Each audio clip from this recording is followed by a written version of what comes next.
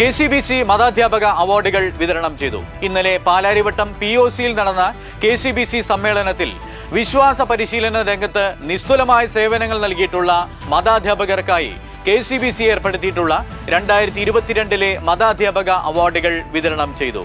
Award ജേതാക്കളായ തൃശൂർ അതിരൂപതയിലെ Lourdes cathedral ഇടവാംഗമായ ഡോക്ടർ ഇഗ്നാത്തിയോസ് ആന്റണി പുനലൂർ രൂപതയിലെ കടമ്പനാട് ലൂർദ് മാതാ കത്തോലിക്ക പള്ളി ഇടവകാംഗമായ ശ്രീമതി ജോസഫി എ മൂവാറ്റുപുഴ രൂപതയിലെ കാഞ്ഞിക്കുളം ഹോളി ഫാമിലി മലങ്കര കത്തോലിക്ക പള്ളി ഇടവകാംഗമായ ശ്രീ ബിനോയ് വർഗീസ് എന്നിവർ.